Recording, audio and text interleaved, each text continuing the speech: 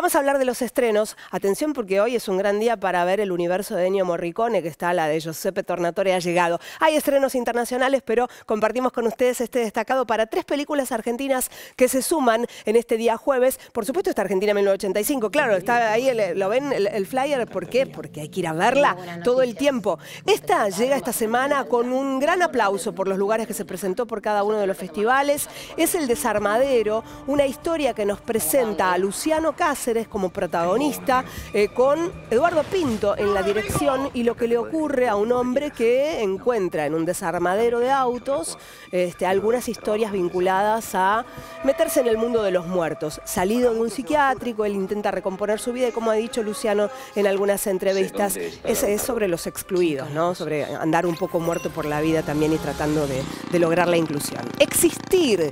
Me voy con esta película con Vanessa González en el protagónico para una historia que Gabriel Grieco tomó de su propia vida, de su padre, ¿no? que era un médico muy importante, pero que en toda esa bibliografía tenía la, biblioteca llena de libros de medicina, pero un montón de libros de cuestiones sobrenaturales, de ovnis, de apariciones extrañas en, en lugares desdoblados. Existir, esa es la película que tenemos para ver quienes gusten de los ovnis y la fantasía. Y esto es algo incorrecto con Eleonora Wexler, César Bordón, la historia de la cineasta, documentalista, eh, militante, eh, feminista Susana Nieri, basada en un caso de abuso real de un juez importante en Mar del Plata, esto que salió a la luz en el marco de un encuentro de mujeres y que ahora se revalida también en, este fin de semana, que es el otro encuentro de mujeres tan importante. Algo incorrecto.